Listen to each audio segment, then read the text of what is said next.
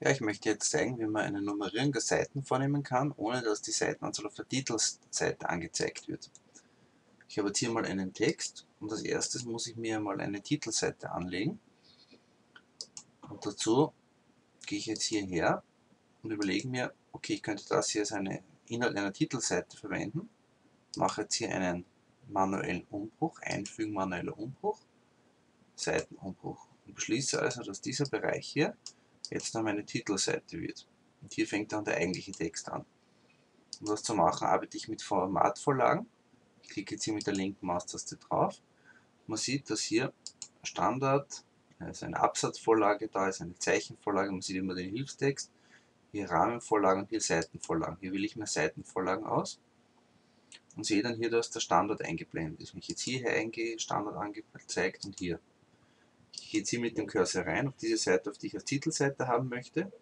Und mache jetzt hier einen Doppelklick auf erste Seite. Dann habe ich diese Seite hier jetzt als erste Seite festgelegt. Wenn ich jetzt hier hereinklicke, habe ich hier den Standard festgelegt.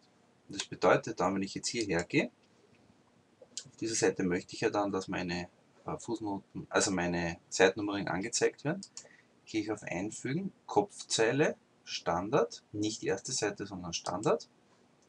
Bin jetzt hier herinnen und wähle jetzt dann über Einfügen Feldbefehl Seitennummer. Und man sieht dann, dass hier diese Zählung bei 2 beginnt. Der 1 wird hier nicht angezeigt. Formatieren wir das jetzt zum Beispiel rechtsbündig.